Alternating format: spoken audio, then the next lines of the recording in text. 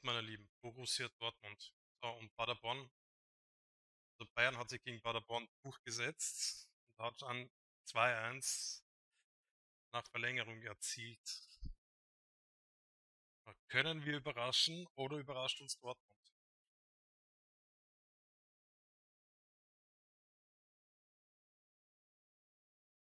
Das ist die große Frage.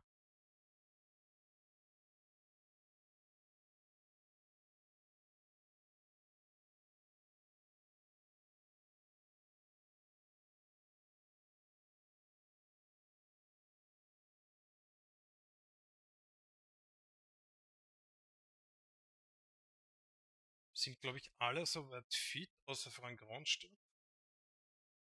Nihes wird wieder dabei sein. Äh, ja, und unser Torhüter, also Arthur Lüsker, der eigentlich Kaltorhüter machen würde, der wird nicht dabei sein. So, ist die Frage.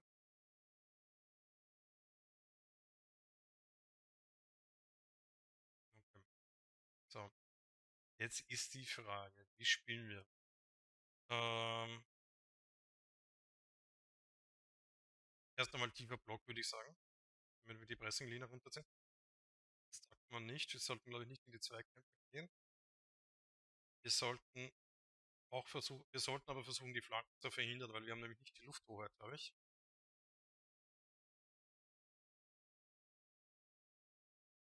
Das ist okay.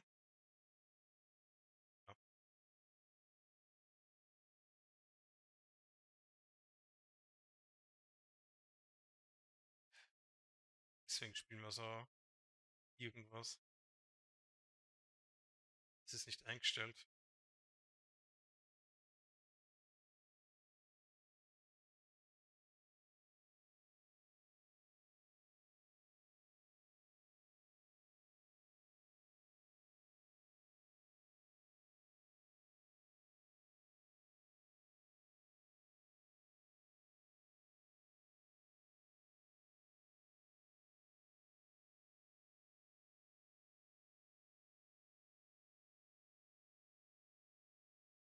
Wir sollten hier auch eher mehr, mehr vertikaler spielen.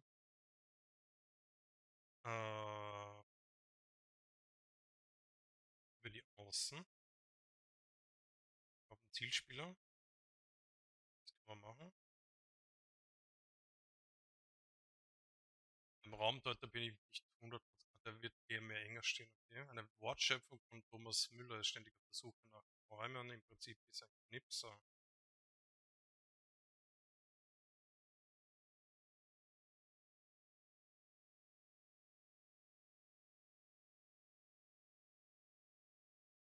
Kann man machen.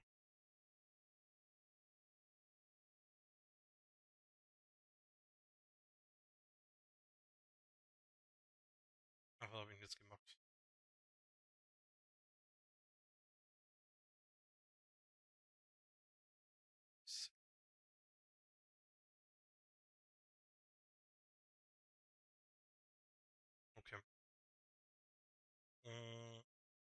Ich sagen, starten wir gegen Dortmund.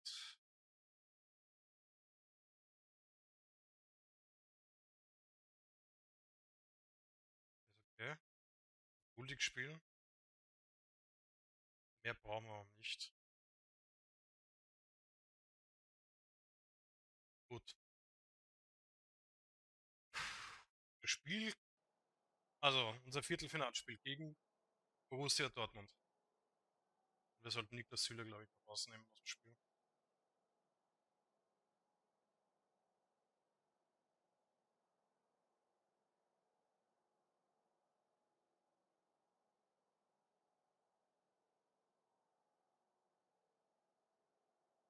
Ecken würde ich die jetzt nicht alle, können wir eh nicht. Wir können einige Schlüsselspieler probieren, auch Marco Reus. Es wird ganz, ganz schwer werden, glaube ich. Dass wir die da rausnehmen. So.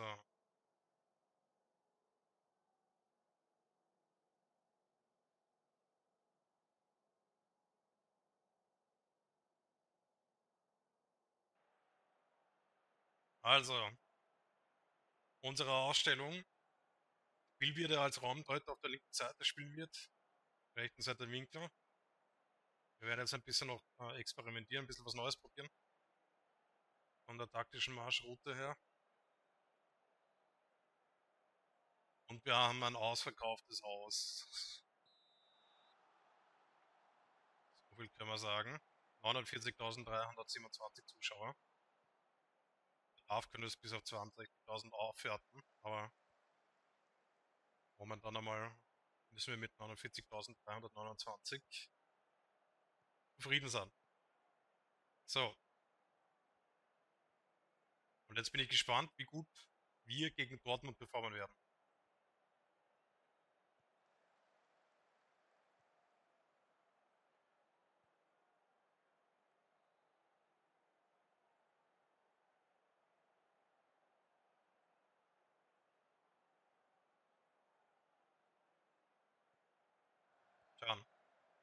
Schlotterbeck.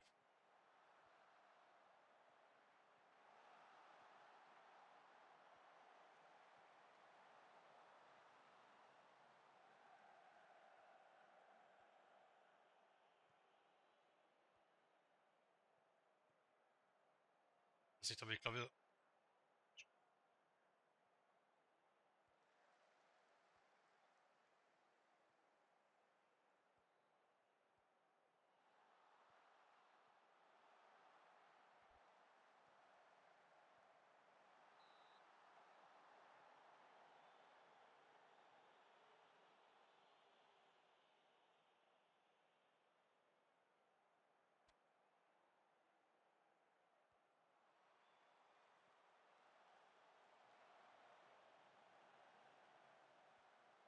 Mhm.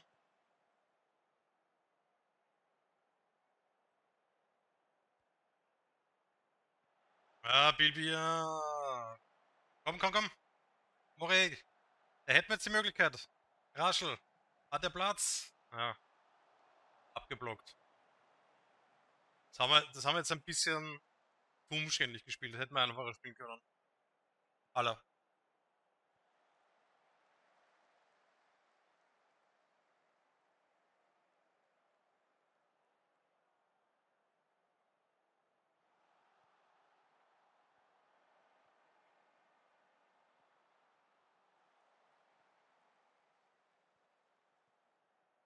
Ja, das gefällt mir wieder. Guter Einsatz von Raschel. Was, technisch ist das nicht so fein, was Winkler das spielt. Der hat immer so, weiß nicht, der momentan ist so, verspringt ihm momentan der Ball so oftmals, keine Ahnung, hat er die falschen Schuhe an? Das war ja nix von Raschel.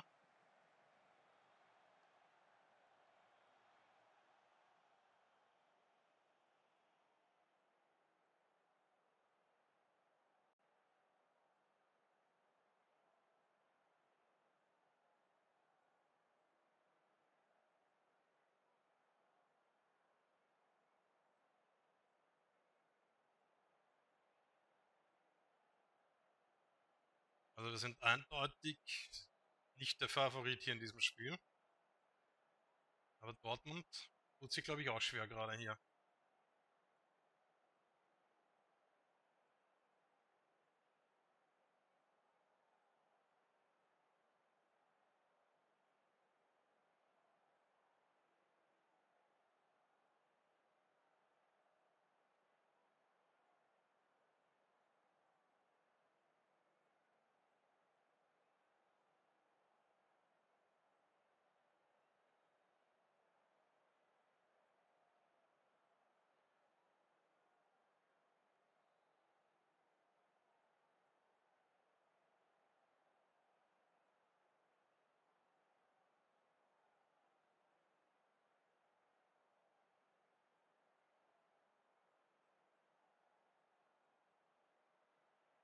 Der Süle, der ist schon angeschlagen, der kann nicht durchhalten, das Spiel.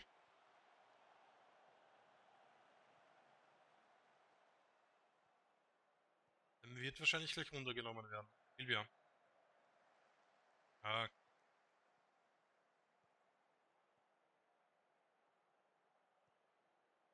Marco Reus. Schlechter Pass. Winter.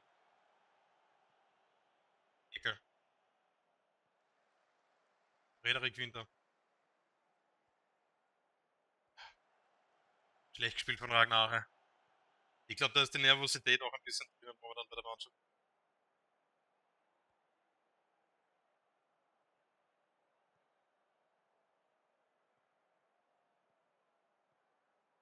Aber wenn man das 0-0 in die Halbzeit retten, dann ist alles drinnen. Uh, Sabitzer, guter Schuss. Marcel Sabitzer. Und Freda, äh, Vincent Müller hat den Ball gerade noch so erreicht. Der wäre reingegangen sogar, so wie er sich reingesenkt hat. Also, hat es einfach mal probiert.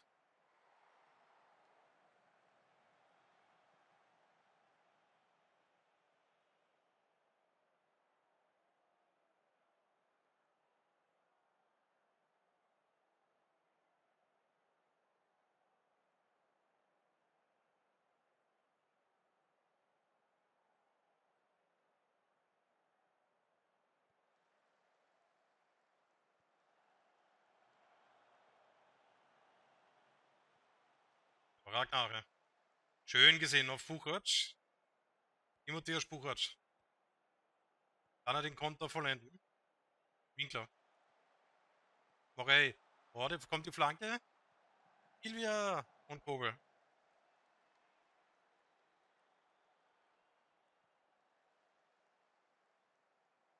Jetzt ist Ragnar Ache angeschlagen.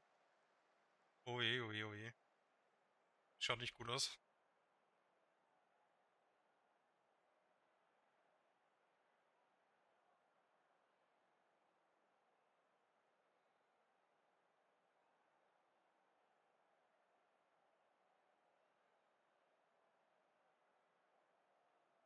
Ja, müssen wir Terode bringen.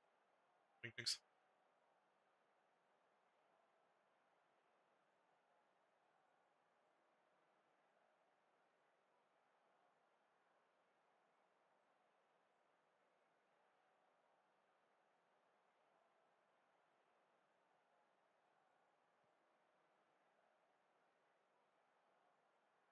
Also Eckball Kaiserslautern in der zweiten Halbzeit Buchert.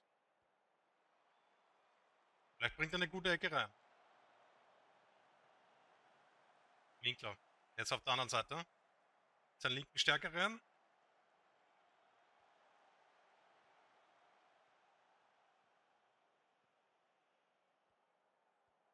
Ecke. Silvia. Yes. Ecke. Arschel. Winkler. Es ist schwer, das wissen wir. Es ist nicht gerade die beste und einfachste Partie.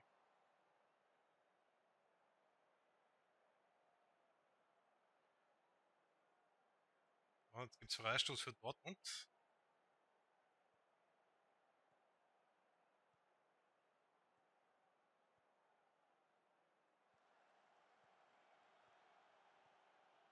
Aber es ist alles drin für uns. Auch für Dortmund ist alles drin. Winkler. Silvia. Der Rode setzt sich durch. Aber natürlich nicht der Jüngste mehr. Silvia. Winkler. Eckball.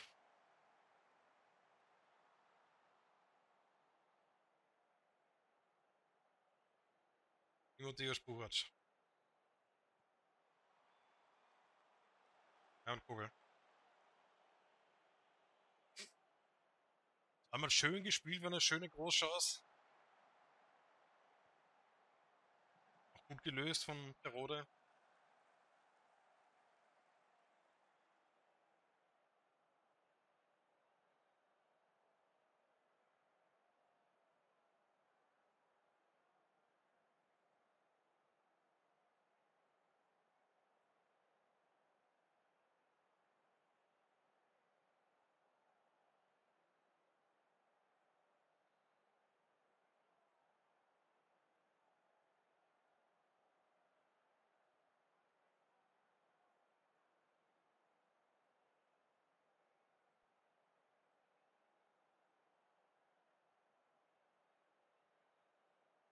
Je länger die Partie dauert, desto besser kann sie werden für uns. Spielbücher kann jetzt nicht mehr. Wir müssen jetzt natürlich einige frische Spiele bringen. Also Nihes, der kann auch nicht mehr. geht mal runter. Eliassen wird kommen.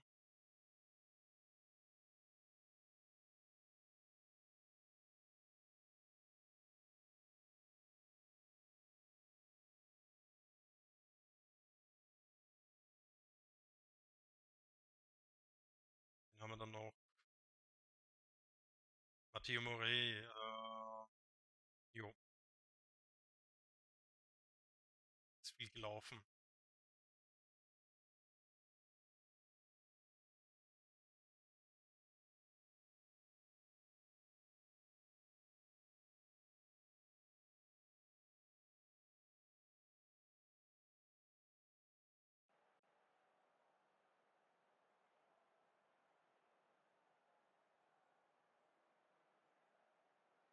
Ich glaube, bei Dortmund wüssten sie jetzt nicht momentan, wen sie alles reinbringen sollen, weil sowieso die halbe Mannschaft gerade müde wirkt.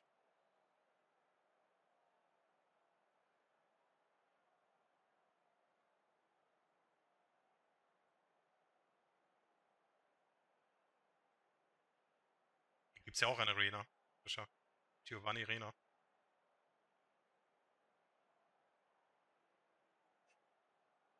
Also, Willy Brandt auf Giovanni Rena. Äh. Hat aber Pech gehabt. Hat ausgerechnet in der 82.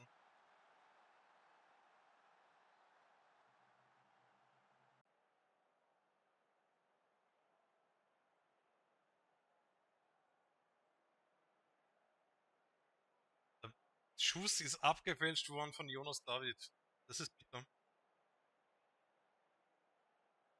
Aber Semi Sahin freut sich auf das Spiel. Mit der 7. Der einzige.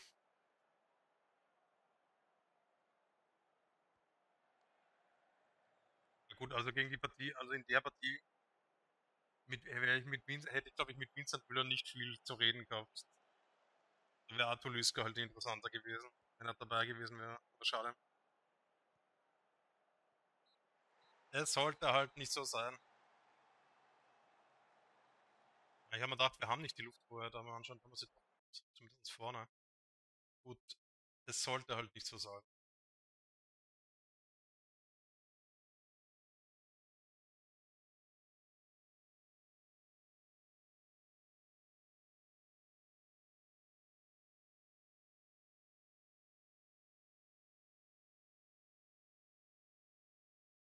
Es ist halt bitter.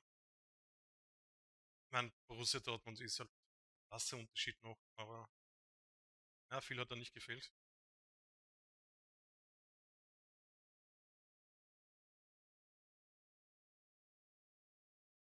So, wir erhalten 1,4 Millionen. Fernseheinnahmen haben wir auch bekommen. Kartenverkauf ist dabei. Wir haben ein Plus von insgesamt 2 Millionen in diesem Monat. Das ist schön. Weil das ist nicht selbstverständlich, dass wir im Februar ein Plus ungefähr 2 Mille haben. Es wird ein bisschen wahrscheinlich weniger werden, aber nach unten hin. Aber das passt schon.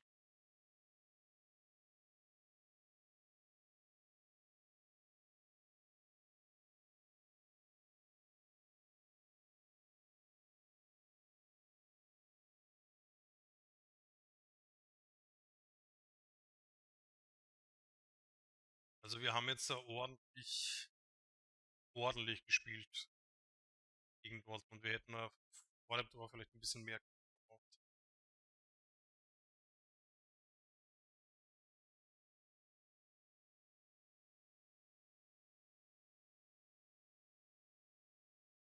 Der Morey hat sich ein bisschen nach unten hin entwickelt. Das gefällt mir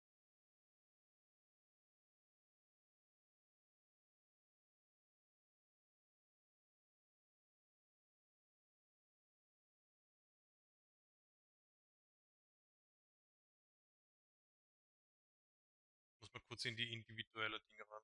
Äh, Das ist.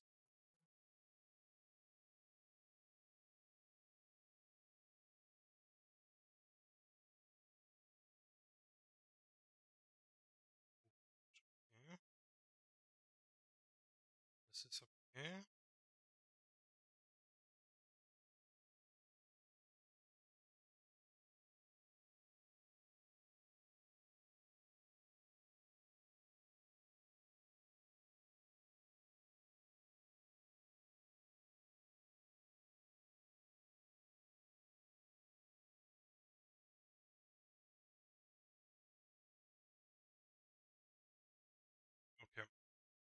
Wir mal, dass Ragnar bis zum Spiel gegen Dresden wieder fit ist.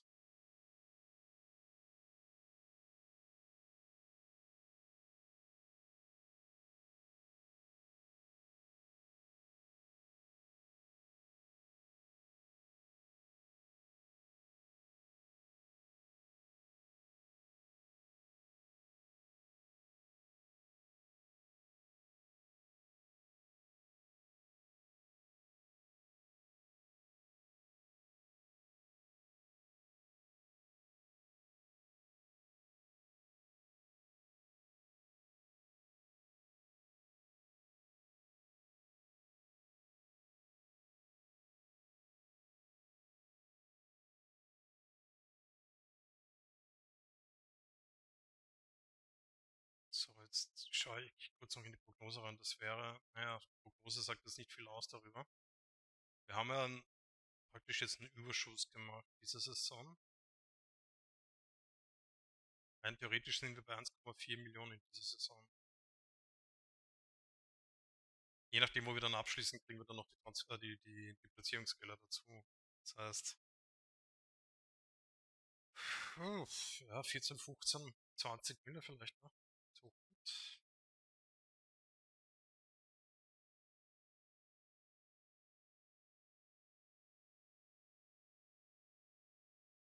8 Mille ungefähr. Ungefährer Kontostand 8 Mille. Ich glaube, es wird ein bisschen mehr werden. Es ist halt grundsätzlich wichtig, dass wir das so gesund wirtschaften, wie es möglich ist. Wir generell immer ein Plus haben. Allgemein.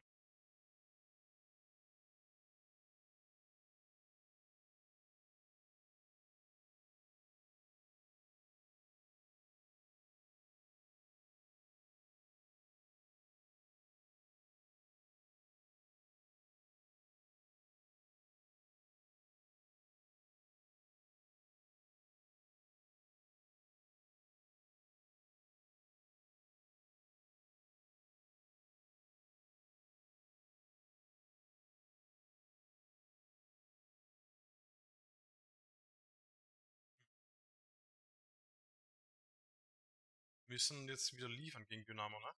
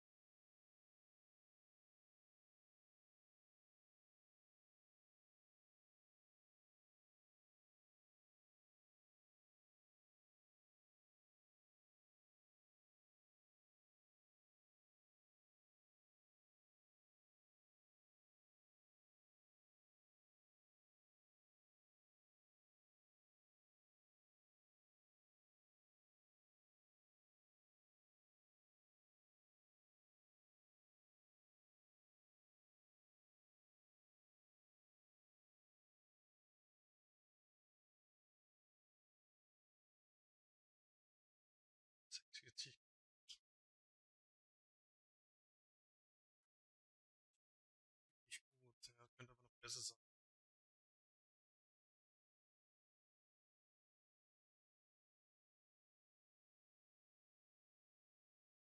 Training ist gut an sich.